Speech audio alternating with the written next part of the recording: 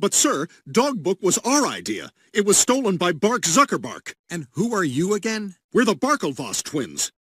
And scene. So, what do you think? I think it's great. I have no notes. It's called the Barkil Network. How come you didn't call it Barkbook? I thought you said you didn't have any notes. I got you dropped from jury duty. Oh, great. What line did you use? I have read about this exact case. That's good. On HotsyTotsyNazi.com. That's not good.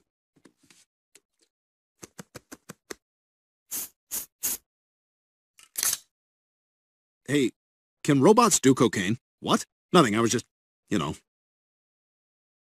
Can they get cocaine? So, what was Brittany Babbitt like? Oh, you know, at Applebee's, she's all like, Hi, may I take your order? And at her bedroom window, she's all like, Ah, get out of here. How'd you find my apartment? Tale of two Britneys, huh? Yeah, I mean, if you don't want me showing up at your house, don't put a smiley face on my receipt. Uh, Your Honor, the defense rests. See, you get it. Have you read my book yet? I'm downloading it right now. It's beautiful.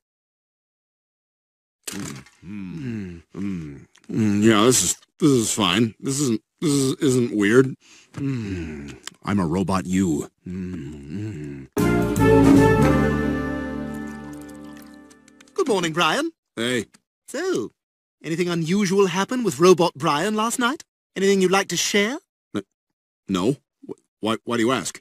Well, as it happens, your robot has a rear panel sensor. Every time it's triggered, I get a text, like a Google alert.